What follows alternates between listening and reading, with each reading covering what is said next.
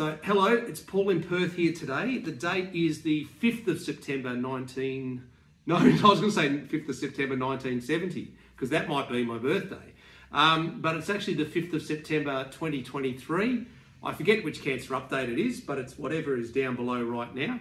And I'm sitting with someone that you might think has a uh, bit of a familial resemblance to me, maybe the same nose, maybe, certainly the same haircut of champions. This is my oldest brother, um, David. So, what I'm going to do is I'm going to pop up on the screen a graphic just to show you the family tree because several of you have asked um, to understand my family tree, and I'll just pop it up on the screen there. So, as you can see, uh, both David and I, uh, or in fact, all five of my siblings, we share the same uh, two parents, which was Len and Joan. David, this, this handsome chap here, um, is the firstborn, and he uh, has married a lovely woman called Kara, and they have begat two, ch- two, two children. Uh, the second-born is our sister Carolyn, and Carolyn married a lovely gentleman called Tim, and they've had three children. The third-born was Graham. Graham has never married and has no children. Uh, Noel, who you have met in previous episodes, um, has married a lovely lady named Connie. They have uh, no kids. And you know me, of course, and you know that I've never married and I've never had any kids. So that's the way our family um, lays out.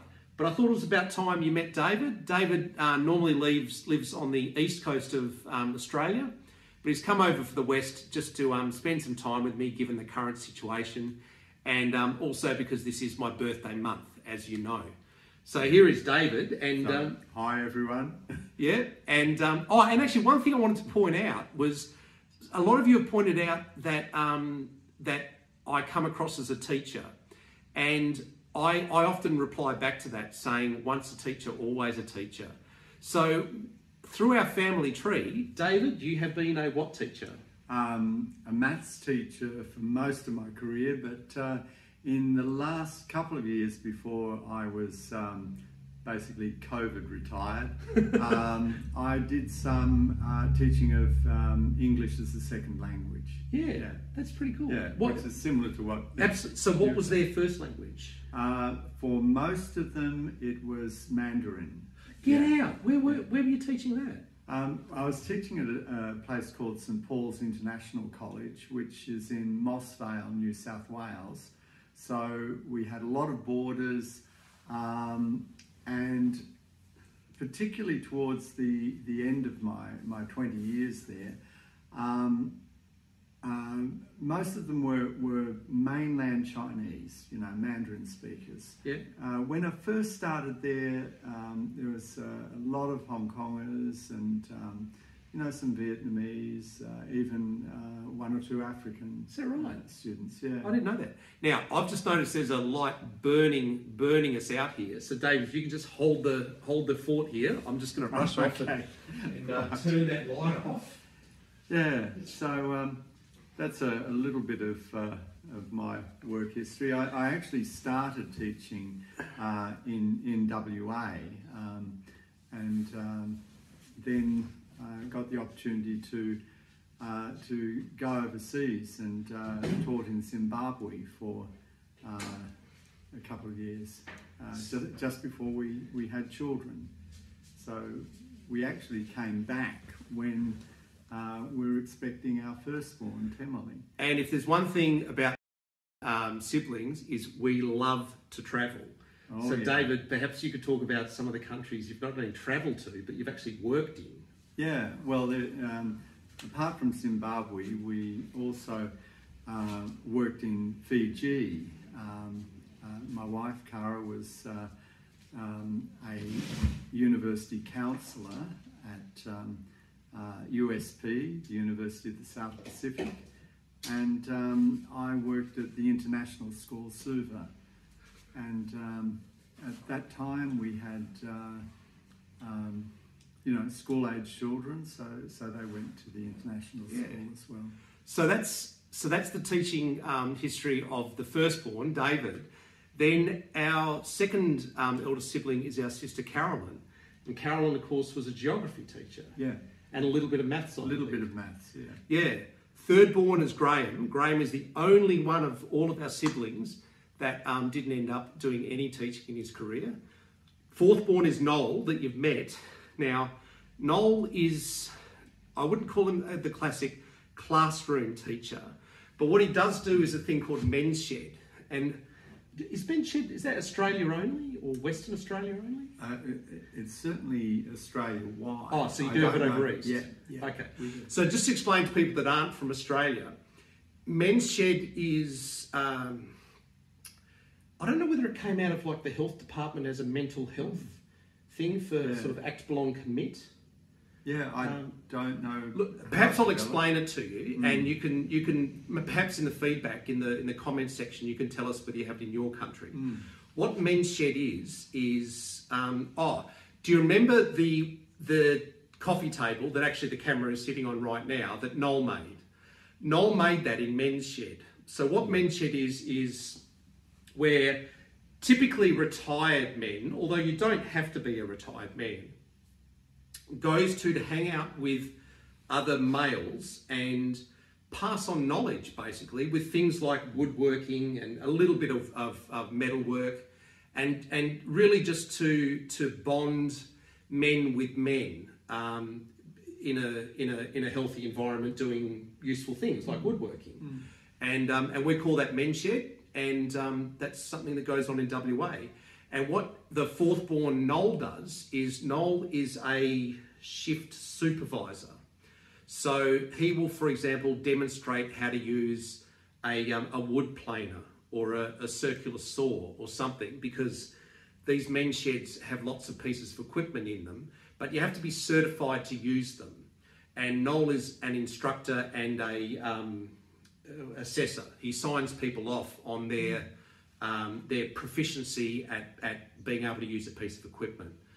Um, so that's Noel. So Noel is a teacher, and as you know, I used to teach English as a second language for one. Number two, you know, this YouTube channel started as me teaching how to fix Mazda 3s and Toyota Corollas. Um, what you may not know is I used to be a Microsoft certified trainer. So in the early um, 2000s, I was teaching um, Active Directory, Microsoft Active Directory, Microsoft Exchange, Microsoft SQL, Microsoft SMS 2.0, which later became SCCM, and basically the whole range of back office Microsoft products. So of the five siblings, four of them have actually ended up in um, in teaching in some capacity.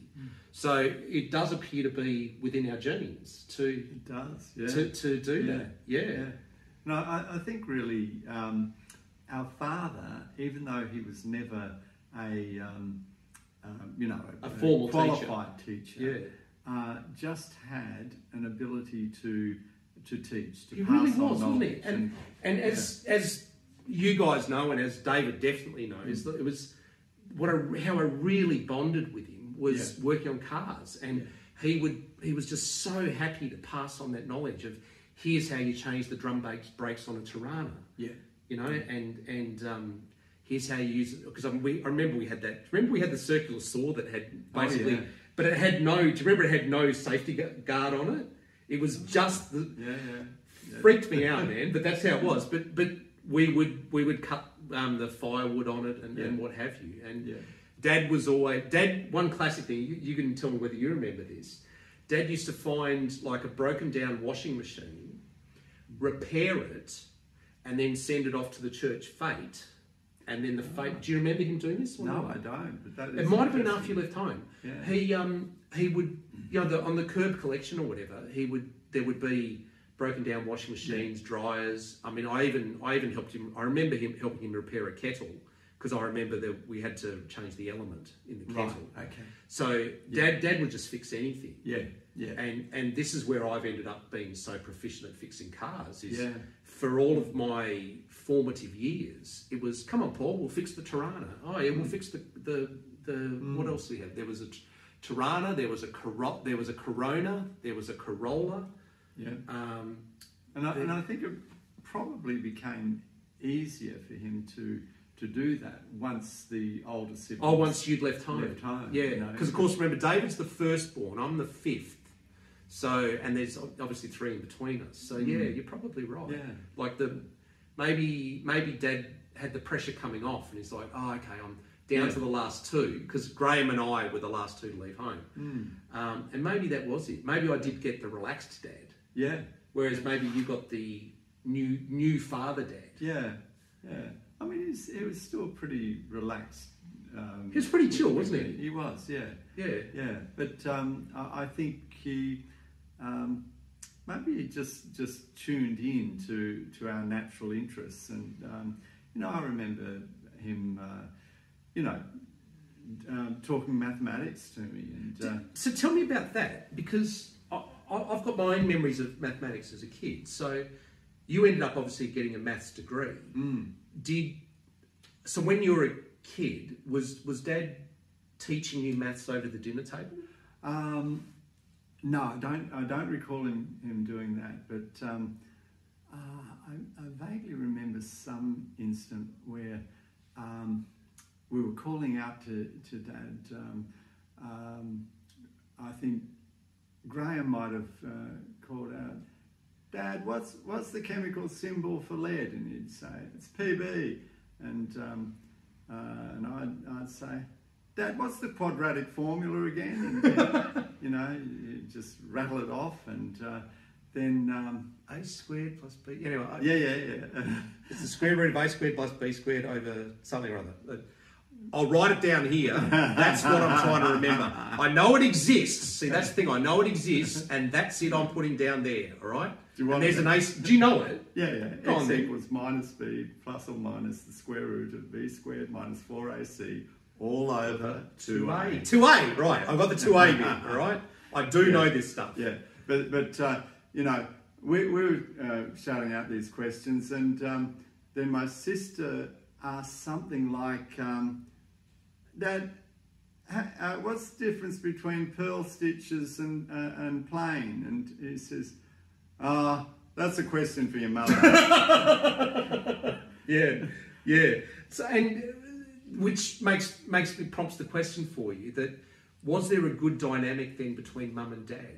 yeah, I, I felt there was. Yeah, and, and I, Yeah. Mm. I did too. And it's interesting hearing you say that because those are what I describe as sort of classic 1960s roles. Oh yeah, Dad fixed the car, mum did the sewing. yeah, And so that was how it was, right? I, it was. Yeah, Yeah. yeah, And whilst I understand the world has moved on from that model, yeah. it certainly did work for them, right? Yeah, and and I mean, Dad was very supportive of Mum's career as well because um, you know she was a, a, a certified nurse. I, I think she, Well, she, she used to say, I was a sister. I remember, yeah, Yeah. she used to, we say, oh, like she's a nurse, and mum would go, I'm a three certificate sister. I remember, Yeah. do you remember? Yeah.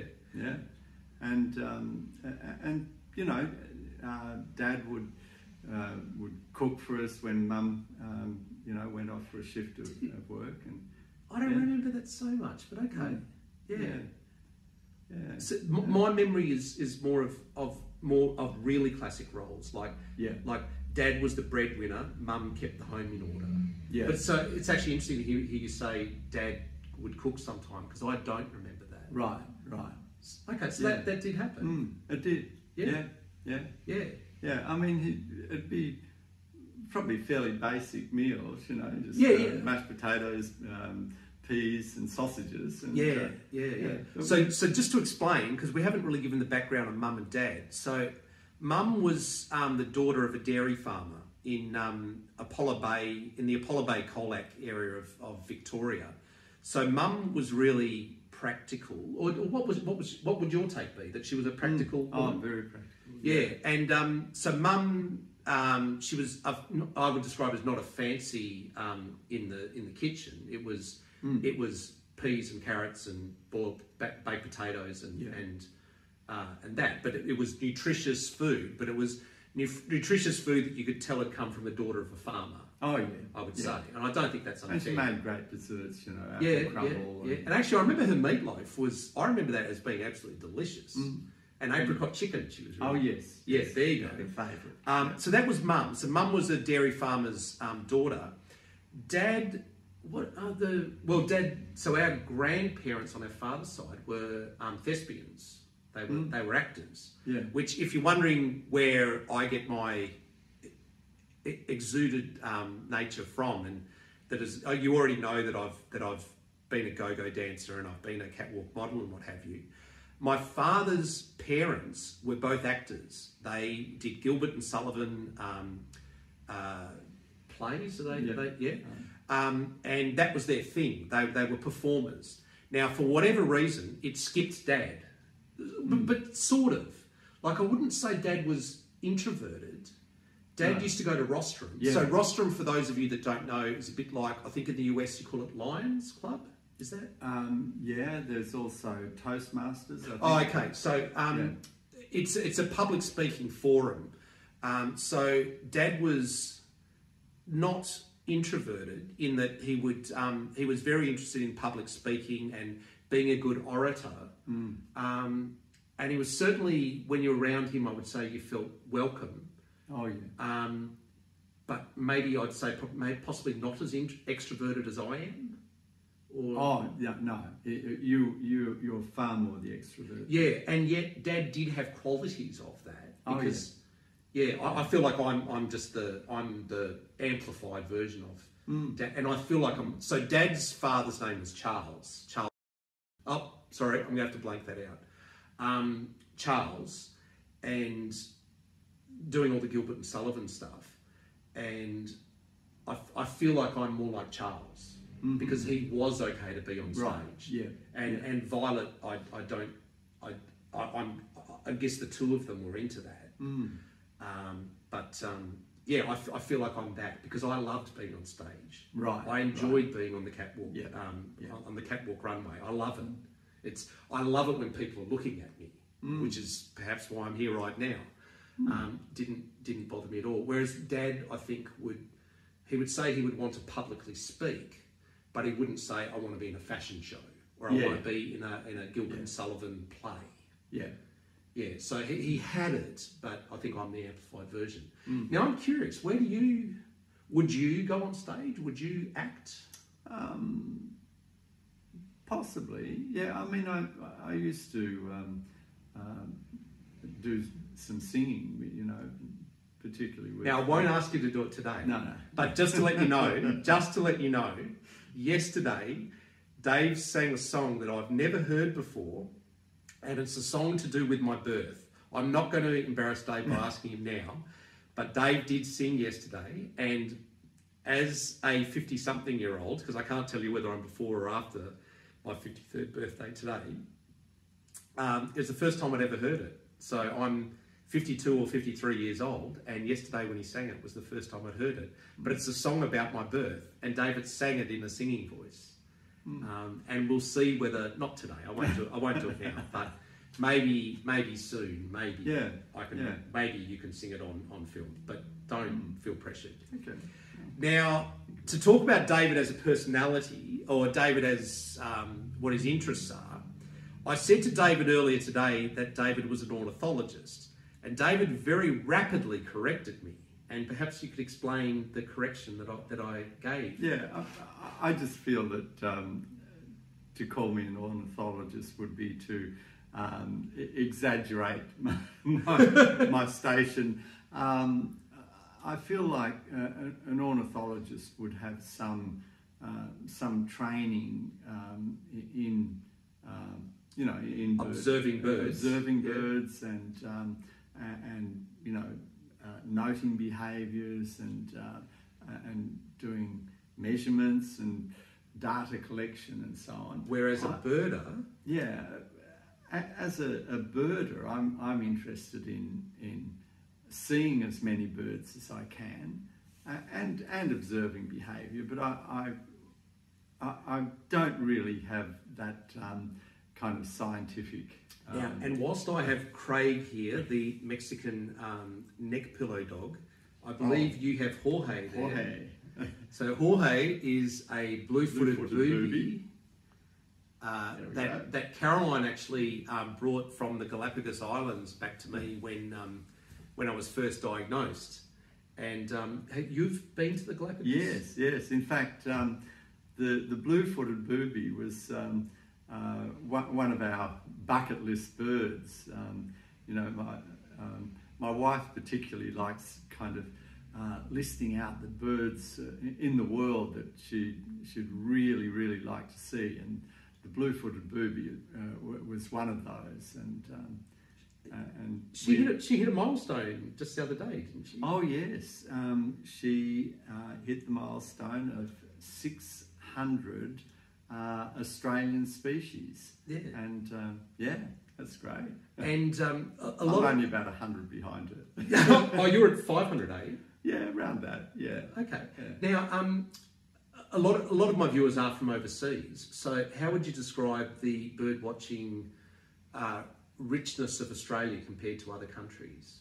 Ah, now that's a good question. Um, look, Australia has some wonderful species. Uh, I think particularly our parrots and um, and fairy wrens and finches um, are particularly beautiful and, and colourful. Uh, also, we've got um, honey eaters and um, you know that that's a you know a whole group of birds that uh, uh, other countries I don't think any have any of. So but okay. I, I, really should fact check. No, that's okay. No, so I'll give you a generalised question mm. then. So if you were to recommend one area that a birder from overseas coming to Australia for the first time would have a great time, what what area of Australia would, would you suggest that they visit? Okay. Um, anywhere around um, northern Queensland. So north of Cairns, up to uh, around. Uh, look from uh, Townsville north. North. Yeah. Yeah. Uh, it's um, do you know very that, rich in its. Do you know that really life. reminds me of? So you know I've done a lot of work in Papua New Guinea, which yeah. is which is just beyond there. Mm. And man, I've never come across as rich bird life, and I'm not a birder, right? Yeah. But um, for me, I'm more an entomologist. I, I, when I went there, you'd remember bug, oh, bug, wars. Yeah. So I was into the bugs. My first ever, um, uh, what was it, was a blog series? Yeah, I guess, blog. Yeah. Was a series called um, Bug Wars, where it, and it was. Um, that was when I worked for Chevron Texaco up in PNG. So that was the year 2000 and um, and this was in an email format. And I was fascinated by the insects uh, because Papua New Guinea has incredible variety of insects, and the insects are damn large, right? So they're they're impossible to ignore. But when it's not the insects, it's the birds that eat the insects. Yeah. yeah. So the bird life of, mm. I, I, think, I, I, guess for me, I was just more into the insects because they were more uh, in the camp. I could find. Oh yeah, yeah. Where and, but I think um, the bird life for you in Papua New Guinea would be amazing. Oh and, yeah and, it, and when that northern, you're talking about northern Queensland there, which is that that run of land that heads up to yeah, Papua. Yeah. And, which, and, we get uh, a number of species coming down from that, that, that can just fly over yeah. the Torres Strait. Yeah. yeah. So it, it, they are the Papuan species making it to Australia. Yeah. Yeah. Okay, so there you go. So if you're a, a birder, or even if you're the fully blown ornithologist, uh, David's recommendation is Northern Queensland. Yeah, yeah. Okay. Uh, uh, but I mean, anywhere in Australia. Yeah, like you would notice when I filmed in the backyard that you can hear bird noise, and I'm t- less than 10 kilometres from the very centre of Perth, uh, mm. and, and I have native species that are in my backyard. Um, mm. Australia is, I, I, don't think it's too much to say, we are blessed with. Oh, yeah with yeah. uh, with bird life in Australia. So if you're a birder, if you're an ornithologist or anything like that, or even and I'm really I'm not a birder or an ornithologist, but I love it. So um, yeah, come on down. There's plenty of space. Uh, we'll fit you in. Uh, so um, yeah. Uh, oh right, I better give you a cancer update because because I'm probably oh, going to put the title of cancer update on this. Now, I haven't posted to you for, I think last update was September 1, so that's four days since I've posted. Um, what happened was on September, um, late September 1, September 2, and for the first part of yesterday, I was very lethargic. Um, I wasn't up to doing a lot, and I certainly wasn't up to making a video. Um, today, or yesterday and today, I've taken a half um, steroid tablet. So you're aware that I'm on the dexamethasone, which is a, a corticosteroid that um, my um, oncologist has prescribed to me. I took a half tablet yesterday. I took a half tablet today, and that has lifted my um, energy level to the point where I feel relatively normal. I don't feel full of energy and whatever, but I feel normal enough that I can. I was able to plan a video with David, and um, and we've had a fairly normal day. Yeah. Yeah. Yeah. So my, my energy level is neither dramatically low nor dramatically high. Yeah. It's just been normal. Yeah. Um, so for those of you that are on the cancer journey, um, my personal experience with dexamethasone has been, um, a, a, a, in fact, whole, wholly a good one. The certainly when I take a half tablet, I feel just fine. Just instead of lethargic, I just feel normal. Occasionally, when I've taken the whole tablet, I've gone from lethargic to what I'd describe as maybe a little bit speedy, um, as in my my enough that Caroline has recognised a difference in my personality. Put it that way. So she would say, "You're talking fast. You're talking loud. You're you know rabbiting on."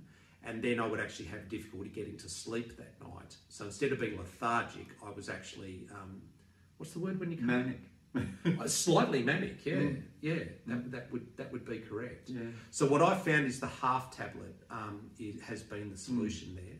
Um, so yeah, so just so you know, um, on the cancer journey, um, yeah, I've had a little bit of lethe- lethargy. Um, nausea has been under control. I've been eating quite normally. Um, and the neuropathy now, because I'm in week two of my um, round four of chemo, and in round two, so after seven days, the half life of the drugs that you've been given has pretty much worn out. So from days eight to 14, you're pretty much in recovery cycle without any of the chemo drugs virtually existing in your body. Um, and I have no no noticeable neuropathy at the moment, so cold things aren't bothering me. So um, so that's my cancer update. Um, yeah. So um, yeah, Dave is staying with us for a few days. Um, And you- it's great being here. isn't it? Yeah. I'm loving. I'm honestly loving having you here, buddy. Mm. It's it's really good. We're really bonding. Um, well, we always have, haven't we? Yeah, But yeah. um, Yeah. we, I, I regard Paul as um, my apprenticeship in fatherhood. oh, is that right? I do.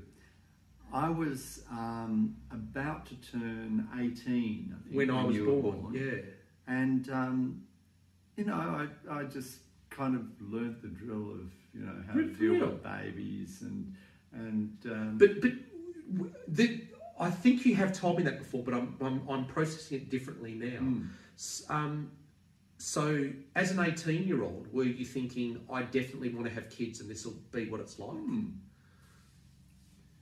Because your Well, first think- statement kind of implies that. Yeah, yeah. I, look, I think, I think I just saw it as being a natural thing for me to to go into because I, I mean I I. Uh, So you I just felt- lo- I, I loved having a little brother, and, and But you uh, felt fatherly towards me. oh yeah, yeah, That's really Yeah. cool. Do you know? Do you know one thing I remember about you? And this is, I know that I've I've posted a couple of um, mathematics videos. There's, if you look in my back catalogue, there's one on binary mathematics and another one on hexadecimal mathematics. I want to tell you, this is the guy that did that, but this guy has our father to thank for. Do you remember that over the dinner table, you used to give me arithmetic progressions? oh, You used to say to me, three, five, seven, nine. What's the next number? Ah, Do you remember doing that? I think so. Yeah. Yeah. Yeah. So as I went through primary school and high school, because you were a teacher by a maths teacher by that stage, I, I would have been at that Yeah. stage. Yeah. and I, I promise you, what you were doing was you were giving me the mathematics lessons of the year above me.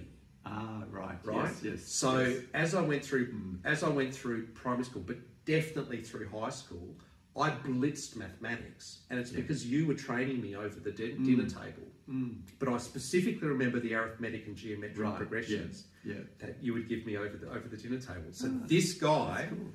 Is why I did so well at maths um, in particularly high school and then at university. Um, a little bit in my first degree, I did uh, uh, some subjects called decision support, which is where you calculate the return on investment of making certain decisions based on certain types of risks, which um, has helped me later in life with things like um, putting money on the stock market. When I did my second degree, uh, which was in medical imaging, I had to do fully blown calculus, like Right. full blown mm. calculus. Like they, one of the questions, one of the questions on the final exam I remember was, you need to design a can that holds 375 mils of liquid. What is the least amount of material you can do it in to hold that much fluid? And of course, you have to do you have to do the area of the two spheres that are the top and the bottom of the mm. can, Yeah. And the the um, cylinder in the middle, Yeah. and you then have to integrate it Yeah. and that was on the final exam. So it was that level of calculus, mm. and I got hundred percent Yeah. on the calculus exam. That's great. Yeah, at Yeah. university level, and it's mm. because of you. Mm. So well done. Thank you. I worked out all right. Yeah. So, but Oh, congrats, did. buddy. it, it is you, and both of us have our dad to thank. Oh, yes. So you were telling us um, earlier, and of course I have no recollection because I wasn't alive when this happened, of dad teaching you maths. Oh, yeah. Uh, it was just kind of incidental. He, d- he never kind of sat me down for a lesson or anything, but um, I don't know. It, it just um, helped. You know, like like that thing I just call out to Dad. You know, what's Oh, what's the quadratic formula Yeah, or whatever? and, yeah. and he- he'd, he'd nod and just, Yeah. just give it straight back. And, and just, just to give you an idea of what our dad was like, what our dad did for fun was he was in the Morse Code Club. Do you remember this? Mm. And he used to send and receive Morse code in the back room, Yeah. out by the back door. Yeah. And that was his idea of fun. You know, he would he would send and receive Morse code to people overseas. He also had shortwave radio. yeah. So yeah. he was a ham. he was a ham radio enthusiast, and um, he was really big on Esperanto. And I, I forget whether I've talked to you guys about this before, but part of my love of or my embracing of foreign languages, and perhaps yours, did did Dad have an Esperanto flavour with you? Oh yeah, yeah. Oh, I- that, that was even then. Yeah, yeah. Uh, I um, I actually started to learn it for. I did while. too. Yeah. So here's the thing. So imagine this. I'm a kid, right? I'm a 10 year old kid. I've got this guy doing arithmetic and geometric progressions hmm. with me. We've got our dad speaking to us in Esperanto. And Esperanto, in case you don't know, is based on Latin, Greek, Slavic, and Germanic, hmm. which is the basis of all European languages, inclu- hmm. including English. So that was what I grew up with um, during my formative years. So later on, when it came to learning French at high school and then Spanish later on, and and um, and, and I actually ended up doing straight up Latin and straight up Greek. Our next door neighbours spoke Greek, and Dad would just send me next door to, and I did end up speaking Greek. Um, so when it came for me to learn, I didn't know. That's, didn't you know that? No. Yeah, I used to go next door and speak Greek, Oh, yeah. um, and um, and that's that's why my, my etymology now is. Oh, I, yeah. I'll sometimes see a new word, and um, and I, I can I won't know the word, but I'll I'll try and derive it Yeah. from. Yeah. And it was even we were talking recently about euthanasia, and eu eu means there you go right you know so. I didn't plant that, by the way. That genuinely was him right then. So EU mean is Greek for good. If you think of eulogy, euphoria, Eucharist, um, in uh, uh, the eucalyptus tree, and eucalyptus is a tricky one. Eucalyptus means um, good covering, and calyptus is because the eucalyptus gum nut is a very good covering, and that's what eucalyptus means. Euthanasia, so you also know the U part of euthanasia is good. What does Thanos mean in Greek? Death. Yes, correct. So euthanasia literally is euthanos, so which means good death, and um, and that that's the the origin of, of that that word, um, which and, and as I've spoken to you before, there's a very high possibility that um, or probability I should say that I am going to go, going to take part in euthanasia because the laws of this state allow me to do this. Um, and it differs greatly. And I'm quite sad for people from the United States because the way the United States legislation is written, it doesn't talk about euthanasia, it often talks about assisted suicide. And I feel quite um, sad and upset mm. for those of you in the United States that you have that word. Do you know the origins of suicide? No. Okay, I'll, I'll, I'll, I'll help you through this. Think about mm. the side part. Mm. Can you think of other words that have side in it? Genocide. Genocide, matricide. Matricide. Yeah. Regicide. So, killing. So it means killing, you're right. Yeah, self-killing. self-killing, you're right. So whereas euthanasia literally translates as good death, suicide translates as self-killing. And I feel very sorry for, um, sorry, I feel sad, I guess, for those of you in the United States where the legislation refers to assisted suicide because what that's implying is um, assisted self-killing, and I I don't like the how that sounds, and I don't like how that feels, and I don't like the um, I don't I, I just don't like the backstory behind Yeah. that. Yeah. I I, th- I think it's um, unkind, an unkind word to put into legislation. Yeah. I very much prefer the word euthanasia, meaning good death, uh, because what I want to have is a good death. I don't want to have self killing.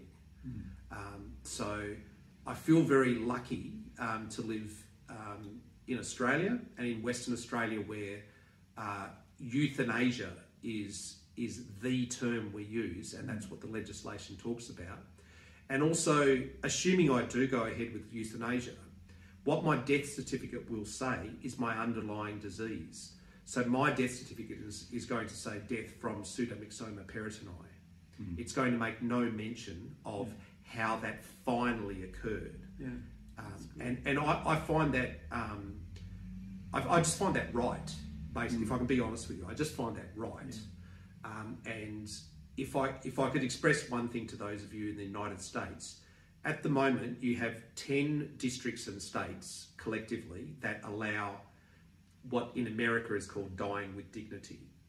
Um, I'm glad that you have that available, and I'm glad that uh, Oregon and Vermont allow you to do it with from other states because that means even if you're in Texas, which doesn't allow it, you can travel to either Oregon or Vermont and achieve the outcome you want. Uh, what makes me a little bit sad is it's referred to as assisted suicide. Um, I, I, I, I just don't like the wording of it, um, but I'm, I'm glad you are able to achieve the outcome you want, um, which is at least better than the United Kingdom, where you have no. Are you aware of this in the United Kingdom? No, in the United Kingdom they don't have um, either euthanasia or assisted suicide. It is just straight out illegal. Um, and you would remember, and David is well aware, that our mother was a palliative care nurse for part of her life. And mum was certainly clear with me, I assume she was clear with you, that mum had assisted people to pass away. Were you aware of that or mm. not? So, not. okay, Yeah. I promise you, when mum mm. worked at Mount Henry mm. Hospital, Yeah. um, she was in the palliative care unit at Yeah. Mount Henry Hospital, which is maybe after you left home. Maybe that's why I remember it and you don't. She was very clear to me that during when people were clearly palliative Yeah. and and clearly, let's be honest, better off passing on, Yeah. She would knowing knowingly but but unsaid Yeah. would up the morphine until Yeah. they were gone, Yeah. and she had no regrets about it. That all the nurses and all the doctors knew that that was the deal and that they felt that it was the kind and right Oh, thing. And it was not openly spoken about but everyone knew. And it's a palliative care unit. We're not talking about a general hospital No, no. you're there for palliative care. Yeah. And um, yeah mum was quite clear with me that that this this is what I have done and I'm okay with it Yeah. and I think Yeah. for me, now that I've ended up in my situation, the fact that mum was so clear on that, you would also be aware that mum and dad had a euthanasia pact. Mm. You're aware of that, right? Um, I wasn't aware of that as such, but I knew that Dad was involved in. Um, was it voluntary? Uh, uh, was it Wave or something? It Yeah, that- that was- WA I- voluntary. yeah, vol- wait, yeah, voluntary euthanasia society. Yeah. That's right. Yeah. Yeah. Oh, okay. Well, this is news to you then. So around the dinner table, uh, then this must have been after you left home. Yeah. Yeah. Mum and dad would make it very clear to the kids at the table, and I guess you'd left home, that mum and dad had a volun- uh, had a mutual um, euthanasia pact, Mm. And they had rules around when it was okay and when it wasn't. So, for example, mm-hmm. paraplegia was no. Mm. Quadruple, uh, tetraplegia was a definite yes. Mm-hmm. Quadriplegia was ask me and I'll let you know. And it was always what is the quality of life? Yeah. So if I have quality of life to carry on, Yeah. let's carry on. But Yeah. if I don't, please help me end it mercifully. Yeah. Yeah. I, I didn't realise you didn't know that. No, no. I- That, that's that's interesting. I mean, it just makes sense of mum and dad. You know. They, Yeah, that's, that's how they, they do do that. Yeah, of thing. I, I absolutely, 100% promise you Yeah. that I'm not I'm not making up that recollection. That Yeah. that's a real one. Yeah. Yeah. So yeah, so I for me in my situation now, I'm finding it surprisingly easy Mm. to say, yeah, I'm cool with euthanasia. Yeah. Uh, because mum was a palliative nurse and she was totally cool with it. Mum and dad had a euthanasia pact that I've grown up with them, you know, from my formative years, from 10 until I moved out of home at about 22, 22 23, I moved out of home. Mm. Um, with like, yeah, yeah, this is how it is and it's fine with us. Yeah. So I- I didn't realise at the time, but it's actually ended up being, well, here I am at 52, 53, Mm. and it's a real thing for me now. Yeah. And I'm actually just Yeah. processing like, oh yeah, it's totally valid. Yeah. Um, whereas a lot of people are really struggling with it, and I'm Oh, like, yeah. I'm like, no, no, no, I've been thinking about this since I was 10 years old, Mm. Mm. so I'm okay with it. Yeah. Um, so yeah, there you go. So that was um, this conversation's gone a lot longer than than I, than I thought. Um, but yeah, this is my oldest brother Dave, and um, this has been cancer update. Whatever number we're up to, it might be fifty six, but I've, I've if I'm honest with you, I've forgotten. And um, we'll post again soon. So um, please wish me a happy birthday. It's it's birthday um, day five for me today, and um, and we'll keep going. So Oh yeah. thanks, Dave. Right. And we'll You're talk to you again soon. Thanks very much. See you later. Bye-bye.